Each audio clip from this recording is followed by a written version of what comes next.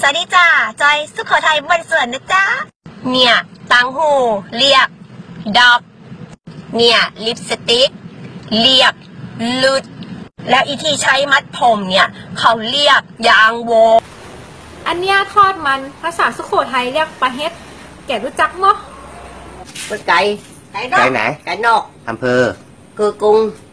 แล้วคนแถวนี้เขาพูดกันยังไงอะเขาพูดกันเกยไก่ไปเห็นอืมเต้ยไปเอง ไปไหนเนาเองอืมไปไหนนานี่เนี่ยมึงไม่ได้มึงไปไหนเนาเนี่ยเออแล้วพูดเถแล้วอะแล้วปฏิทินนี่พูดเรียกว่าอะไรอะไปดูทินอะไรนะไปดูทินอันไหนใบสุทินเนี่ยไม่ใช่ไปดูทินหรอกพี่พูดขยะกับเราอะไปดูทินเลยเนี่ยดูไปทินเทียดูไปทินเทียเองถ้ารถยนต์ติดลมอะไม่ใช่ใส่เองใส่ใส่หัวอย่างถ้าใส่ขึ้นขึ้นโคนอะก็จะล้มอะอ๋อ ใส่ช่วยใส่รถขึ้นหนะดูไงถ้าน้ำแข็งละลายเรียกว่าอะไร แข่งในลูกควายเรียกว่าอะไร ลูกแอร์ถ้าไก่ในซุ้มเนี่ยลูกต่อไปเนี่ยเรียกว่าไก่ลูกไก่ปุ้น ไก่ปุ้น ไก่ปุ้น ยังมีชีวิตอยู่เกยไปไหนมาแล้วเองเป็นคนเมืองบางขังค่ะ จังหวัดสุโขทัยค่ะ ภาษาสุโขทัยนี่ถ้าชวนกินข้าวอะชวนยังไงอะ กินข้าวกันไหม่เล่า จะไปไหนอะ ไปไหนน่ะ ไปเมาเองไปเมาะเองเสือก็เสือแลคนก็จะแบบสงสัยแบบว่า อย่างเช่น ปูเสือนั่ง คนคนไทยจะเรียกปูเสือนั่ง นั่งกันนั่งกันมออย่างนี้ ถ้าอย่างเรียกเสือก็จะเรียกเป็นเสือเสือตัวโตๆประมาณนี้ เครื่องบินนะคะ เครื่องบินเรือบินที่าเรือบิน อันเนี้ยนะ บางบ้านเขาก็เรียกคูน้ำบางบ้านก็เรียกกระแปงน้อันนี้ตั้งหูภาษาสุโขทัยเรียกว่าดอันนี้ลิปส ภาษาสุโขทัยเรียกว่ารุนอันนี้ผ้าเช็ดตัวภาษาทุกขวดไทยเรียกผ้าห่มเช้าอันนี้ทับผีภาษาทุกขวดไทยเรียกสารพีอันนี้แชมพูภาษาทุกขวดไทยเรียกผงสู้หัวอันนี้น้ำแข็งละลาย ภาษาทุกขวดไทยเรียกน้ำแข็งในรู้จักกัน ปราสาทหินสุโขทัยเนี่ยมันเป็นตัวชี้วัดความเป็นมรดกโลกอย่างหนึ่งเเพราะว่าเเส้นภาษาระหว่างล้านนากับอาณาจักรสุโขทัยเนี่ยมันอยู่ที่คำว่าลำก็คำว่าหลอยหรืออร่อย ถ้าหมู่บ้านไหนพูดอร่อยนี่คือภาษาถิ่นสุโขทัยถ้าหมู่บ้านไหนอ้วลำนั่นคือภาษาถิ่นล้านนา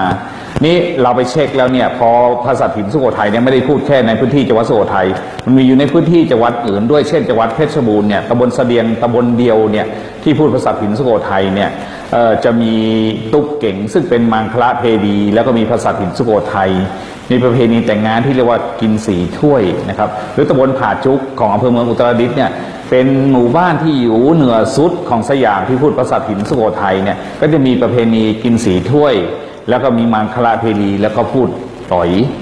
นะครับเพราะฉะนั้นไอตัวเส้นภาษานี้มันก็จะอยู่ที่จังหวัดตากสุโขทัยอุตรดิตถ์เนี่ยมันจะทำให้เราทราบว่าภาษาถิ่นสุโขทัยเนี่ยสืบย้อนยาวไกลไปอย่างน้อยเนี่ยสมัยสุโขทัย700-800 ปีที่ผ่านมาเเพราะว่าหมู่บ้านเหล่านั้นเนี่ยเป็นหมู่บ้านที่ไม่ได้อยู่ในพื้นที่จังหวัดสุโขทัยแต่ยังคงดำรง สำเนียงสุโขทัยเหล่านั้นอยู่ สำเนียงสุโขทัยเนี่ยมีวิธีการสังเกตชัดเจนนั่นคือ วรรณยุกต์เอกในภาษาบางกอกจะเปลี่ยนเป็นภาษาสุโขทัย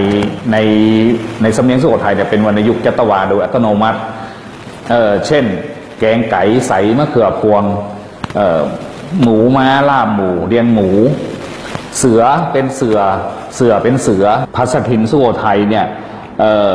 จะถูกกล่าวว่าเป็นพวกชาวใต้ในภาษาล้านนา แล้วก็มีภาษาเป็นของตัวเองเนี่ยล่างเงาส่วนใหญ่จะมาจากภาษามอญกับภาษาเขมรยกตัวอย่างภาษาเขมรก็คือคำว่าปลาเฮ็ดนะครับ เป็นภาษาเขมรที่เรียกทอดมันในภาษาบางกอก อีกคำหนึ่งก็คืออคำว่ามากินข้าวนะครับ คนสุโขทัยเรียก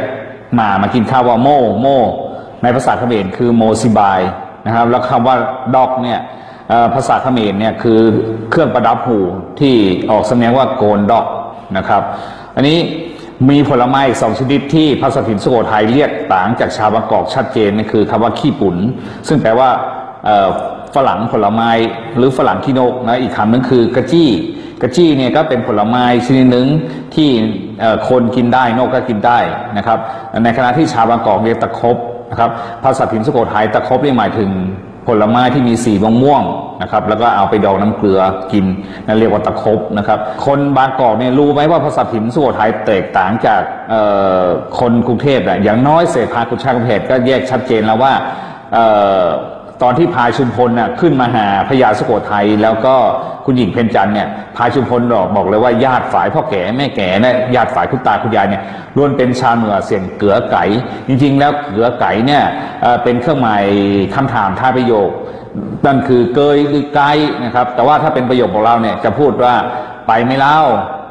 หรือมอ หรือเองนะครับ ไปไหมไปเองนี่คือไปด้วยนะครับ นี่เป็นภาษาถิ่นสุโขทัยที่ชัดเจนมาก แล้วก็คนกรุงเทพไม่ได้พูด